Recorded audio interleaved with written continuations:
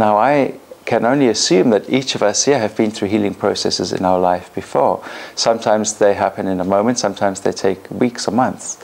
And depending on the healing process that you've been in before, you can probably remember that there were times when you might have felt the way you are describing stuck.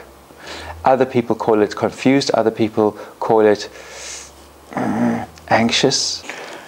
I have a definition of burnout, which is people people get to a point in life where they've been stretched. They've been stretched by life itself. Their experiences, whether at home, at work, in their social circles, in terms of spiritual, personal development, whatever the case may be, their experiences get them to a point where they've had an awakening of sorts. They've realized something. Plain and simple. They've just realized something about themselves, about their life situation. And that realization opens a can of worms. It just sort of gives them ideas. It gives them a perspective about themselves and life and what they need to do. So, a particular experience or set of experiences leads to a certain kind of a realization for the individual. And then you cannot turn back.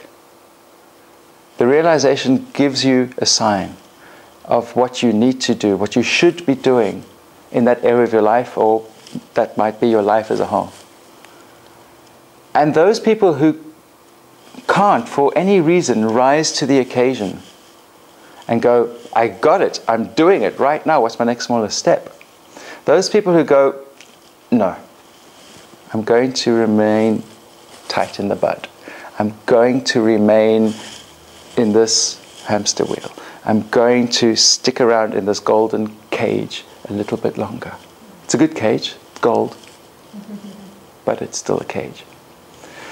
Those people who refuse to acknowledge the sign that they've gotten and insist on sticking to the old routine are putting themselves on the direct route to, to burnout because the mind, once stretched, cannot return to its old dimensions. And they will fight against every sign and signal that their body, their unconscious minds, and life around them, all the synchronicities, will be providing them with. They will resist it because they're going to insist on having it in an old, familiar way. They are refusing to step out into the unknown and they're refusing to embrace the new reality that life is presenting them with. And they're going, no, it's too scary. No, I'm not going there because it's unknown unfamiliar territory, I'm too afraid, and therefore they make the choice to stick around and to do what they've always done, or something like that. And they resist the thing that life is putting in front of them, and they can't. It becomes an ongoing struggle that becomes more and more amplified.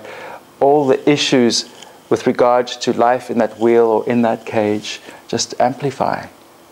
Every sign amplifies that you've got to make the change and they can't. They're too scared, and they get to a point where they just can't cope.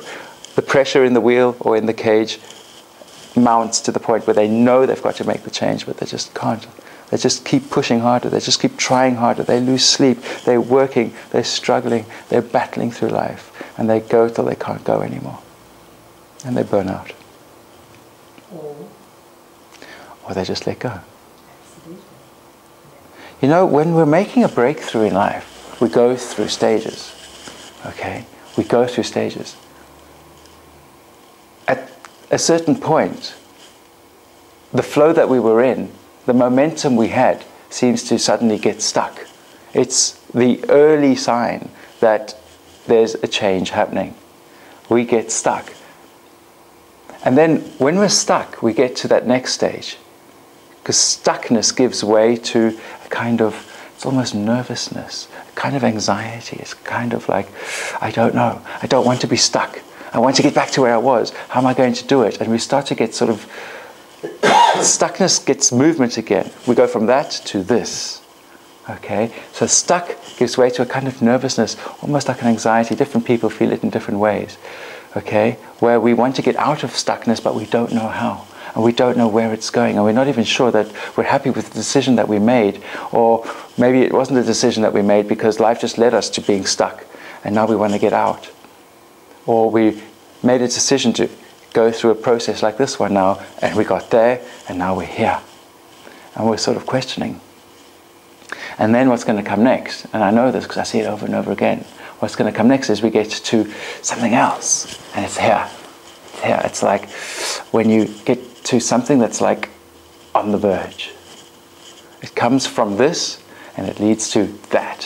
When you're like there, you're on the verge.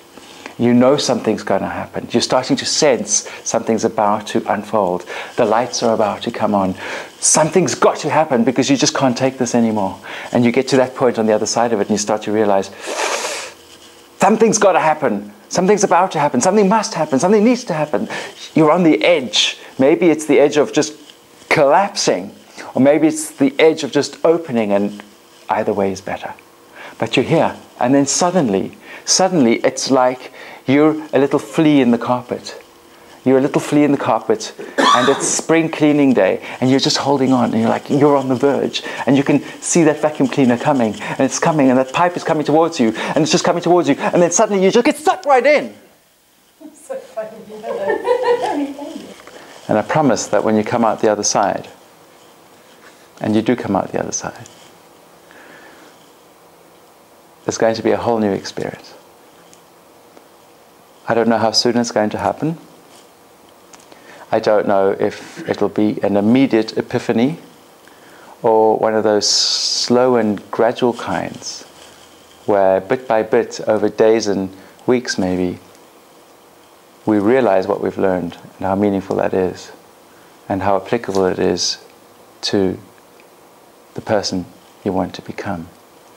But I do know that there is always, always a very positive outcome to that experience. And in hindsight, you'll be very glad you went through it.